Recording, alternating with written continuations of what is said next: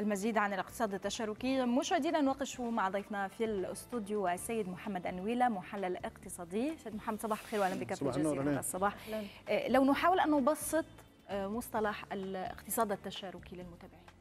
الاقتصاد التشاركي يعني هو نوع جديد من النوع حديث جدا من من الاقتصادات نشأ في في في الغرب في البداية وهو يعني مبدأه بسيط جدا إنه الناس بدل ما تستثمر okay يعني بدل ما يكون مستثمر واحد موجود حيكون مجموعة من ال... حيكون المجتمع كله متشارك في هذا العمل. يعني زمان كان رجل واحد يقوم بالاستثمار ويأتي عائد لهذا الرجل. الآن المجتمع أصبح كله يتشارك في في التجارة. على سبيل المثال Uber مثلا يعني من من أشهر الأمثلة في الاقتصاد التشاركي هو Uber.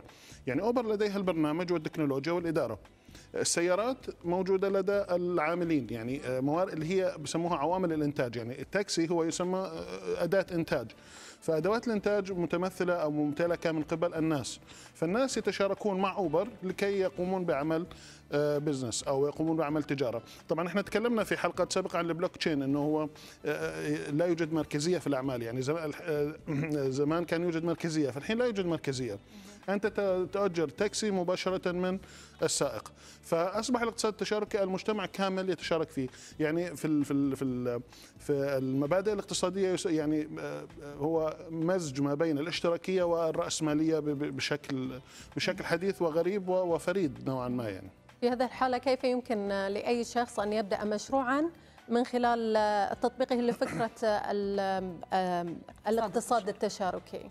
طبعا الاقتصاد التشاركي يعني الآن بدء المشاريع صار أسهل من من ذي قبل. يعني الآن المشاريع صار الآن أنه ما يميز الاقتصاد التشاركي هو شيء واحد. يعني شوف فكرة التشارك الأعمال هذه موجودة من زمان. يعني طرحها طرحها كثير من علماء الاقتصاد. ولكن كانت صعب التنفيذ لأنه ما كان عامل مهم جدا موجود في في العالم التكنولوجيا. التكنولوجيا هي اللي أدت إلى تسهيل عملية أو أو أو نخلي الأفكار التشاركية قابلة للتنفيذ. فإيش اللي صار؟ آه لما دخلت التكنولوجيا سهلت على الناس تطبيق الأفكار التشاركية وسهلت عليهم أيضا عمل business يعني اليوم أنت بإمكانك تعمل application وتشترك في ال Apple Store و Google Store وتطبق ال application وتعين developers أو أنت تقوم بنفسك بتطوير ال applications أو أنت بإمكانك تعمل website وتصل إلى العالم كله. فأصبح تطبيق الأفكار التشاركية سهل جدا. ممكن أنت على فكرة تشارك مش بس تاكسي أو أو بيوت في ناس بتشارك WiFi ال WiFi تبع المنزل أنت بتشاركه مع مع أشخاص.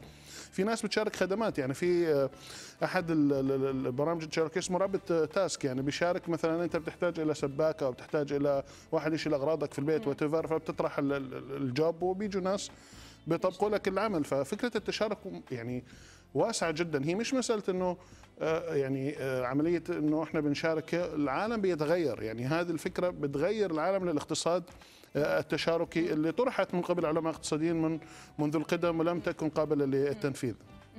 طيب في المشاريع التقليدية عند إنشاء أي مؤسسة أو شركة هناك كراس شروط يجب تطبيقها هناك قوانين يجب السير على منوالها في هذه الوضعية التكنولوجيا هي نقول النواة الرئيسية في هذا المشروع نعم. هل هناك عراقيل قانونية يمكن أن تحد من ربما تطورها أكثر؟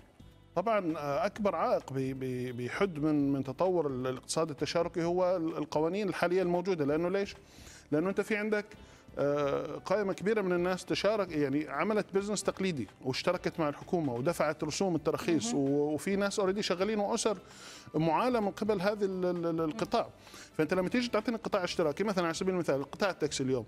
زمان كان شركات تاكسي وأنا أستطيع أفرض عليها ضريبة وأراقبها وأعملها. اليوم صارت التاكسي منتشر بين الناس هواه أو ناس مش مسجلين وأنا كيف هروح أنا كحكومة أتابعهم وأحصل منهم على tax؟ فهذه صارت قضية دخل للحكومة.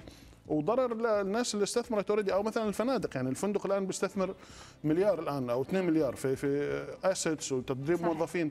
وبعد فترة أنا أسيبه وأخلي مثلا Airbnb يبيع وبالتالي يتضرر هذا القطاع. فبالتالي أنا okay صار الأموال بدل ما تتكدس في مكان واحد المجتمع أخذها شيء جميل.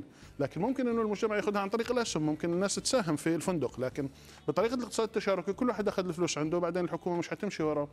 مليون إنه okay أعطيني الدخل تبعك أو وريني حيصير عملية صعبة عليهم لتحقيق ال ال ال الريع الضريبي للحكومة وبالتالي سيتضرر القطاع الاقتصادي. فلازم لابد من تنظيم آه، للعملية. ولو إنه صعب جدا وسوف يعني للأسف إنه راح الاقتصاد التشاركي راح يغمر البلاد كلها ولن يستطيع أحد.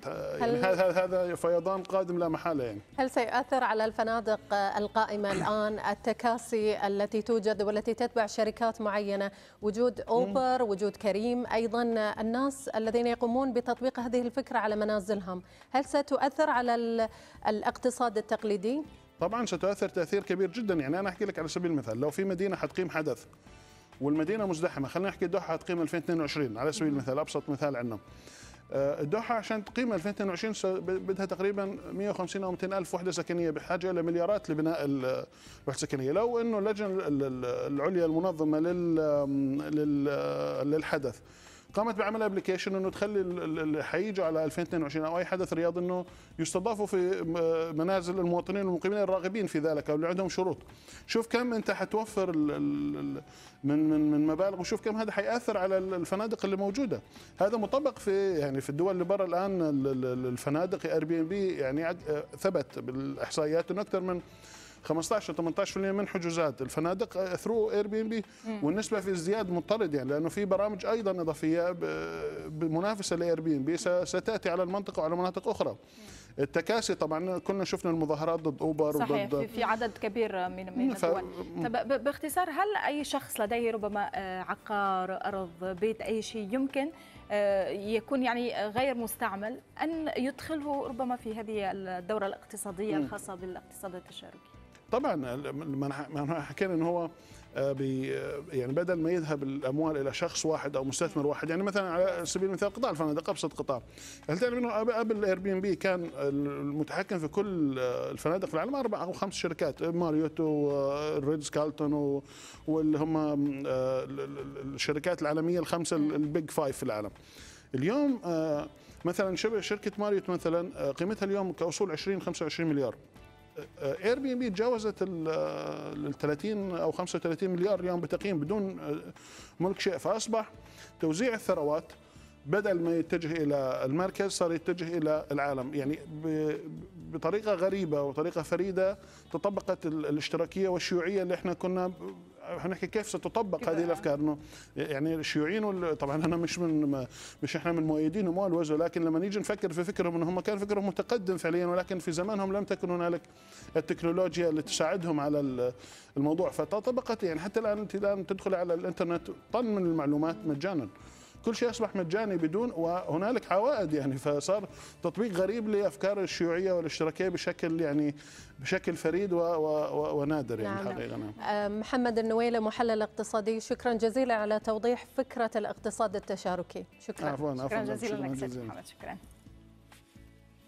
إذا مشاهدينا وصلنا بكم إلى ختام ساعتنا الأولى من الجزيرة هذا الصباح. دقائق ونكون معكم في ساعتنا الثانية مع مجموعة أخرى من المواضيع. ابقوا معنا.